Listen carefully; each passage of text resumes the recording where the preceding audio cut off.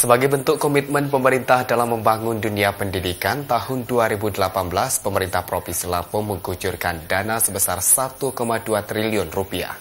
Hal ini sebagai langkah dalam meningkatkan mutu dan akses pembangunan sarana dan prasarana, serta meningkatkan kesejahteraan tenaga pendidik.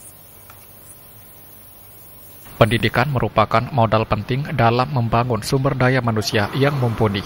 Oleh karenanya, untuk meningkatkan mutu dan akses pembangunan pendidikan, pemerintah Provinsi Lampung menggelontorkan dana sebesar 1,2 triliun rupiah.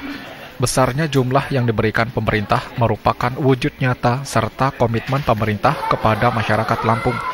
Selain itu diharapkan kepada masyarakat untuk bersama-sama berperan dalam dunia pendidikan sehingga dalam membangun dan menciptakan mutu pendidikan dapat berjalan dengan baik. Kepala Disdikbud Provinsi Lampung menyebutkan anggaran diberikan sebagai upaya pemerintah dalam membangun mutu pendidikan, meliputi pembangunan sarana dan prasarana, kesejahteraan tenaga pendidik, serta memberi bantuan operasional siswa daerah atau BOSDA untuk peserta didik tidak mampu jenjang SMA, SMK. Oleh karena itu, Disdikbud Lampung mengakomodir keseluruhan dana tersebut, sehingga semua kebutuhan untuk pengembangan pendidikan di Lampung bisa terpenuhi.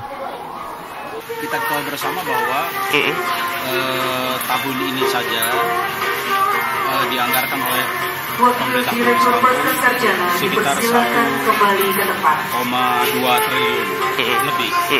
Tetapi di dalam mata anggaran ini dipergunakan di samping untuk program pembangunan sarana prasarana, pembangunan sumber daya atau tenaga pendidik dan pendidikan, juga untuk kesejahteraan para guru dan para tenaga kependidikan lainnya. Selain membuka akses dan membangun pendidikan sekolah, Dinas Pendidikan dan Kebudayaan Provinsi Lampung juga meningkatkan kompetensi guru melalui diklat maupun bimbingan teknis atau BIMTEK.